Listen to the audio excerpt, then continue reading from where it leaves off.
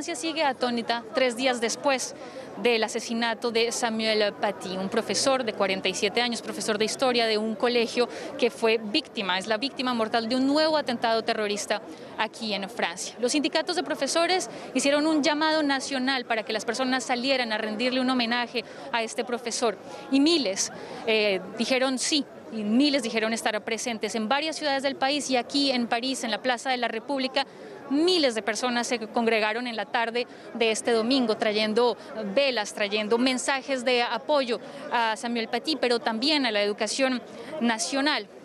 Por ejemplo, varias de las personas que estuvieron acá, que no solamente eran familias enteras, sino también profesores, algunos jubilados, nos eh, contaron por qué para ellos era importante venir hoy hasta acá. Importante venir aquí para apoyar a los profesores y también a nuestros hijos. Serán los niños los portadores de la luz de la enseñanza pública. Mi hija es profesora. Yo fui estudiante de la Escuela de la República y quiero que mi nieto continúe gozando de esta escuela libre en la que todos los hombres son iguales y en la que la fraternidad se pone en marcha. Es muy importante estar aquí y continuar defendiendo estos valores. Es por eso que estoy aquí.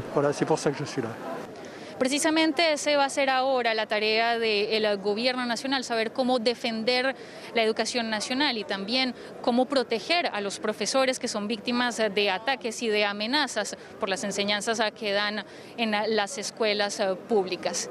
Por ahora se sabe que este próximo miércoles Emmanuel Macron eh, presidirá un homenaje nacional a Samuel Paty.